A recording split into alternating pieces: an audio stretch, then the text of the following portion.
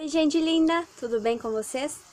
Gente, hoje eu vim trazer pra vocês umas diquinhas, uh, uns truquezinhos que eu uso pra cobrir o meu o melasma, que eu tenho bastante, manchinhas de espinhas, tudo isso usando corretivos coloridos e principalmente um corretivo feito em casa. Então, se você quer saber como vai ser essa preparaçãozinha de pele rápida, vem comigo!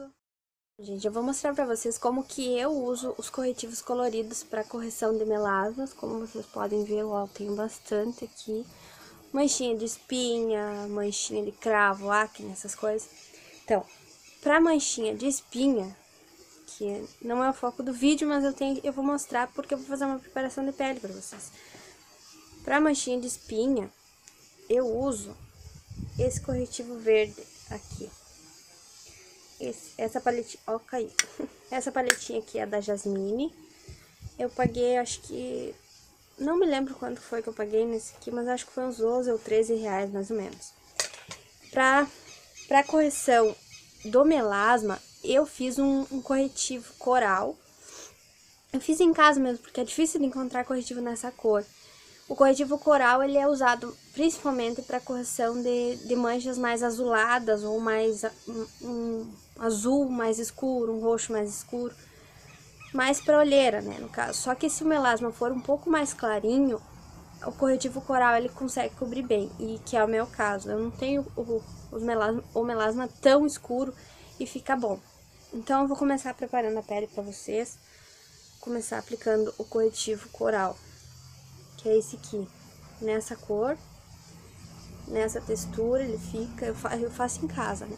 Então, ó, eu vou olhando aqui pro lado, que aqui tem um espelho, faço assim, em cima de todo o melasma que eu tenho, eu tenho bastante melasma aqui nessa região, e aqui, nesse ladinho aqui. Melasma, ela é uma pigmentação a mais na pele, principalmente causada, causada pelo sol, por às vezes até o calor ajuda. Passo com, eu vou coisando com a esponjinha. Até o, o calor ajuda a aparecer bastante melasma, né? Ele, ele tem, tem tratamento. Eu acho que não tem, não vai sumir completamente. Só que ele tem tratamento. Eu tinha ido até em uma, uma, uma dermatologista e ela me indicou um ácido. É um cremezinho, só que é um ácido, né? Ó. Eu tenho no nariz também, bastante manchinha. Corretivo coral quase apaga tudo, olha. Eu não tenho nenhuma manchinha hoje mais vermelha. Tem aqui pouca coisa, olha. Mas eu vou tentar mostrar pra vocês o corretivo verde, esse aqui. Olha. Passa por cima da manchinha vermelha. Que vou tá em tudo aqui. é bem é bem interessante esses corretivos coloridos, porque eles fazem a gente quando coloca assim na pele vai parecer parece que vai virar uma coisa, né? Porque olha só o jeito que fica. Parece que não vai dar certo, vai ficar verde o rosto, mas, mas não fica. Depois que tu, a gente começa a passar base, é bem interessante até, porque vai sumindo esse verde, esse coral aqui. Ó, não sei se vocês estão conseguindo ver, mas já não, não dá mais pra notar tanto que tem o melasma? Vou passar a base com esse, com o kabuki. Eita, meu cabelo tá soltando o pelo. passar, eu vou usar essa base do Avon aqui, no, que é o que eu encontrei aqui no momento. Então, ó. Vai aplicando de batidinhas a base. É, é bem rápido essa, essa preparaçãozinha. Eu não tô nem usando primer, nada. Mas é só pra mostrar pra vocês mais ou menos como vocês podem, em casa mesmo, sem muito, sem uma base de horrível de cara, sem corretivos caros. Vocês podem fazer uma preparação de pele tapando todo o melasma, o melasma que vocês têm, porque eu sei que são, ó, para de funcionar. porque eu sei que quem tem isso incomoda bastante.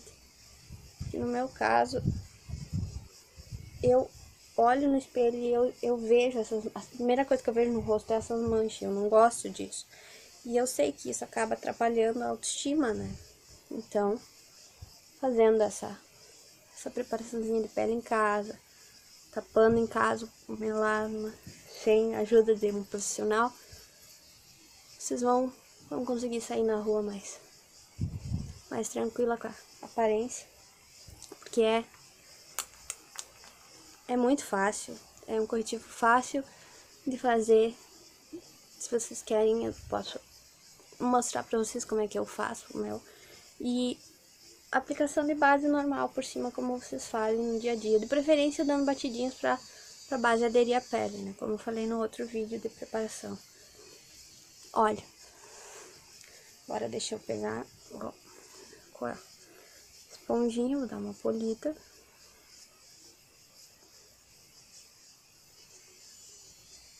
Olha. Tem, tem corretivos de todas as cores, quase. O corretivo amarelo, ele serve para tapar hematomas, olheiras mais, mais arroxeadas, no caso. O verde, para manchinhas vermelhas, vasinhos, que você tem no rosto, que tem essa tonalidade. O corretivo lilás é mais indicado para quem tem o melasma mais escuro, então, se você tem um melasma mais que fica aparecendo mais ou aqui em cima na testa em grande quantidade, é mais indicado usar o corretivo lilás. Mas se você é tipo eu, assim, que não, não é muito escuro, o melasma, dá pra ser usado esse corretivo coral, só que ele é mais difícil de encontrar, então é mais fácil você fazer em casa, né? Daí tem o, o, o corretivo laranja, que é mais pra, pra manchas mais... Pra manchas não, pra olheiras mais azuladas, aquelas olheiras roxas, assim, que tu olha e... Meu Deus, essa pessoa é passou a noite sem dormir, mas infelizmente tem pessoas que não é muito por isso, né? Mas é. É, a, o, é tipo o melasma, que pode ser, pode ser uma, uma herança genética que tu vem por ter uma facilidade da tua pele manchar mais facilmente, né? Então, gente, ó, é rapidinho, foi rapidinho. É isso aqui que eu uso pra tapar o melasma. Esse corretivo verde pra tapar as espinhas. E é Fácil, fácil. E com a pele já finalizada, eu queria agradecer a vocês por terem assistido esse vídeo até aqui. Uh, deixe seu curtir, compartilhe esse vídeo com quem vocês acham que precisa, se inscrevam no canal, deixem sugestões para os próximos vídeos e o que, que vocês usam para cobrir o melasma de vocês também deixa aqui embaixo nos, nos comentários, tá ok? Beijos até o próximo vídeo. Tchau, tchau!